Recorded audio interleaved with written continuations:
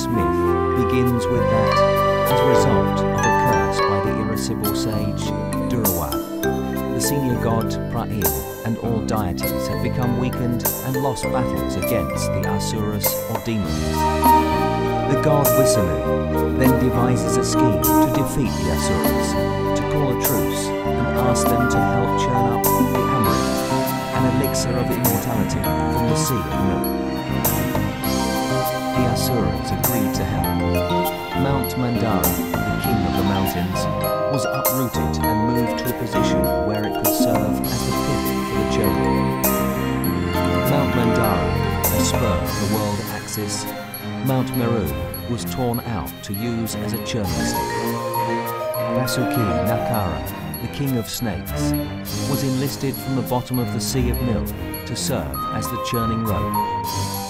The demons positioned themselves at the head of the snake and the deities at the tail. Exhausted from being rubbed against the mountain, the great serpent vomited poison, thus weakening the demons.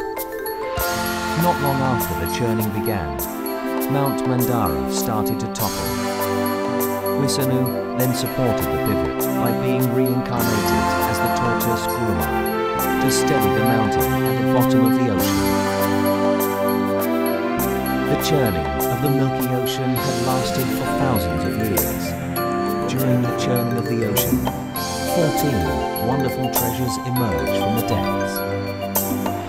Wisanu transforms himself into a beautiful girl to distract the demons and let the deities drink the elixir first. During all this time, the archdemon Rahu has disguised himself in order to drink the elixir.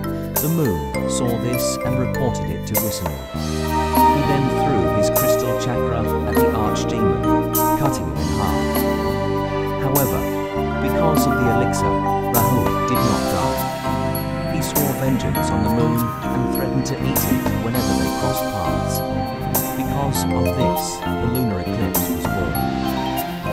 Eventually, Wisanu gave the remaining elixir to Pra'in to keep the water